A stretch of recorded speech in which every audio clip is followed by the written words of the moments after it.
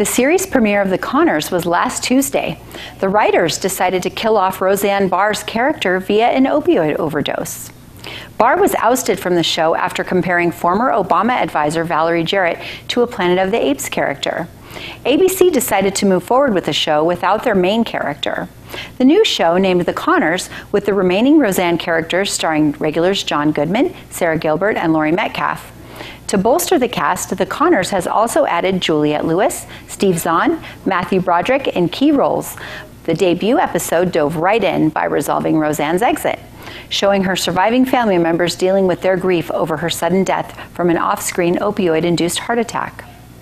Rapper Nicki Minaj might have some apologizing to do over her song Sorry.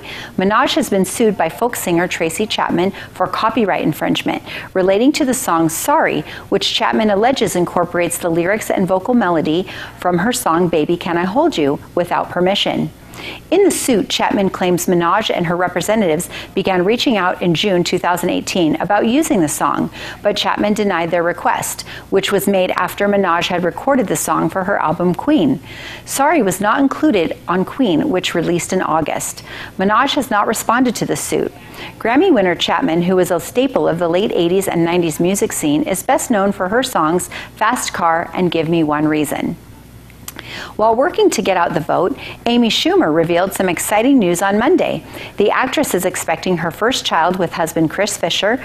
Schumer, who is 37, teased in an Instagram post sharing a photo of herself and her husband made to look like a pregnant Meghan Markle and Prince Harry. The couple married in an outdoor ceremony in Malibu, California last February. Fischer is a James Beard award winning chef and author.